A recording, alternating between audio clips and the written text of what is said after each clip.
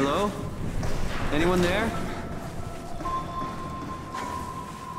Well, Catherine, we found Theta.